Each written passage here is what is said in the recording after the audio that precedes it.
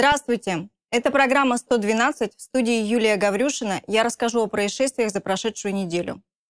На минувшей неделе на территории региона зарегистрировано 213 происшествий. Из них 11 преступлений, из которых 8 раскрыто в течение дежурных суток. По трем проводятся оперативно-розыскные мероприятия, направленные на установление лиц, совершивших преступления. Привлечено к ответственности 66 граждан за распитие алкоголя и появление в общественных местах в состоянии алкогольного опьянения. За неделю произошло 6 дорожно-транспортных происшествий. Пострадал один человек, причинен материальный ущерб.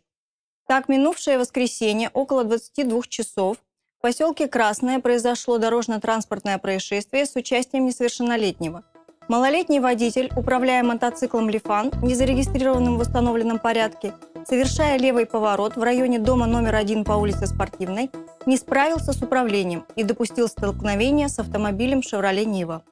В результате ДТП несовершеннолетний водитель мотоцикла получил травму колена. Пострадавший был доставлен сначала в фельдшерско-акушерский пункт поселка, а потом в приемный покой Ненецкой окружной больницы. В настоящее время по факту происшествия проводится проверка, по результатам которой будет принято процессуальное решение.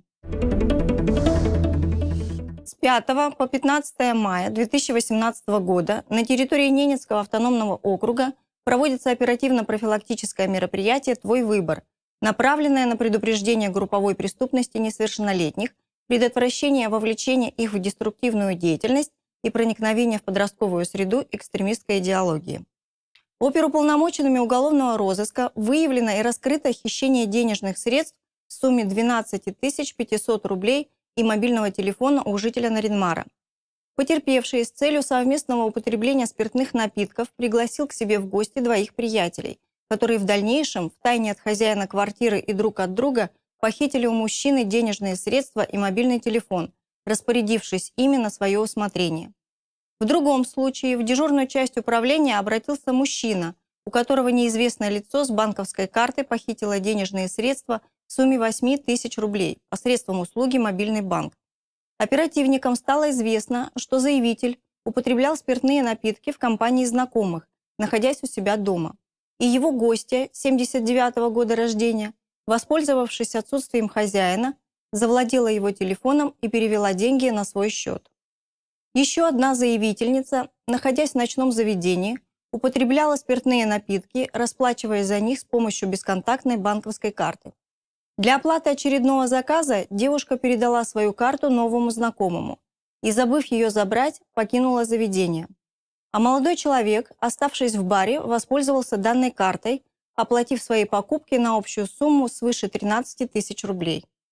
Оперуполномоченными уголовного розыска новой знакомой девушки установлен. Им оказался несовершеннолетний 17 лет. Следователем управления по первому факту возбуждено уголовное дело – а по двум последним фактам в настоящее время проводятся проверки.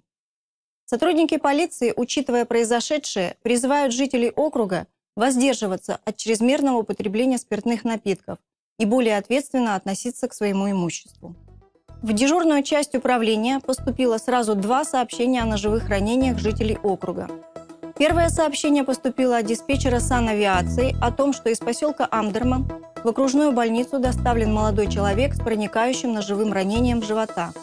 Сотрудниками полиции в ходе оперативно-розыскных мероприятий установлено, что телесные повреждения мужчине причинил его знакомый в результате возникшего между ними конфликта в процессе употребления спиртных напитков.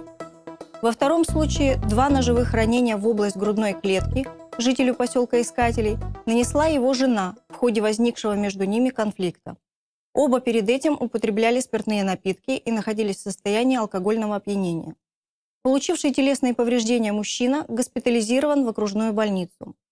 По данным фактам проводятся проверки, по результатам которых будут приняты процессуальные решения в соответствии с действующим законодательством Российской Федерации.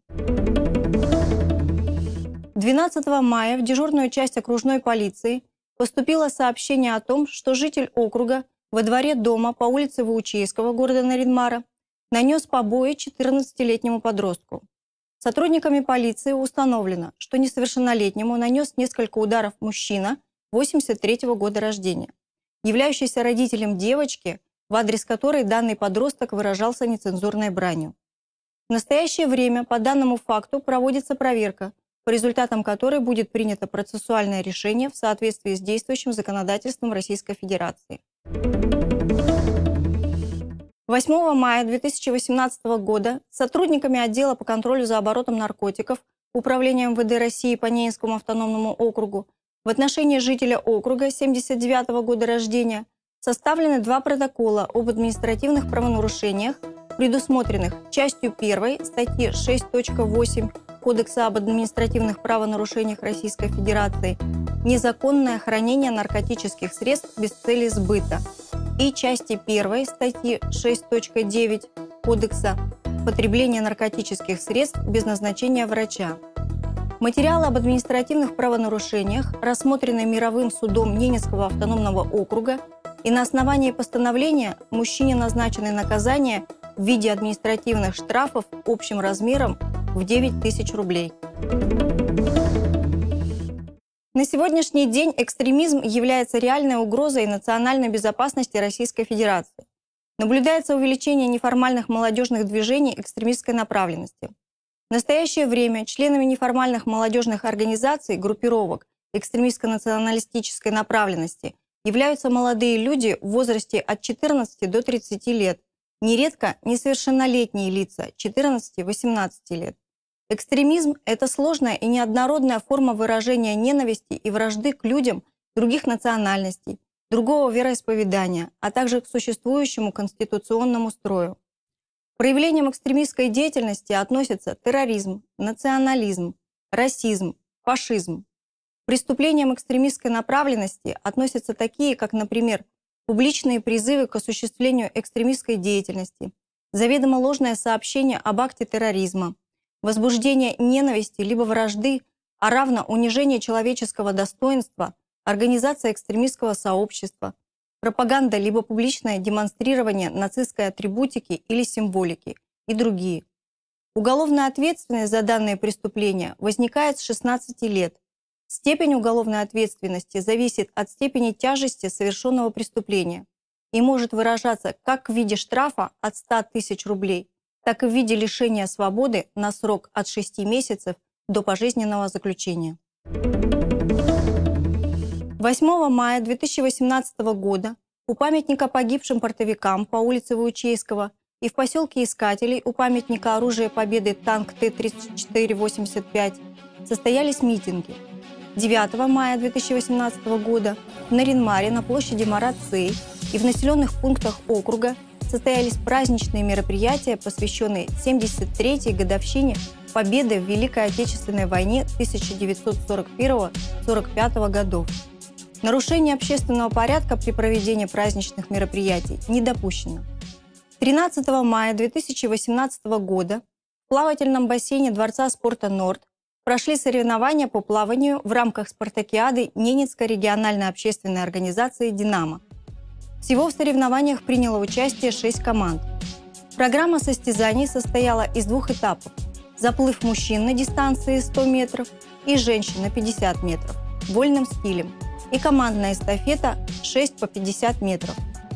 Сотрудники окружной полиции заняли второе место в командной эстафете, уступив военнослужащим войсковой части 12403.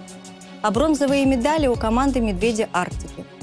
В личном первенстве на дистанции 100 метров вольным стилем среди мужчин серебряная медаль у Сергея Захарова, референта пресс-службы управления, а бронза у старшего инспектора по мобилизационной подготовке Ешковцева Василия. Победителем в заплыве среди мужчин стал сотрудник ГУ МЧС России по Ненецкому автономному округу Алсуфьев Денис.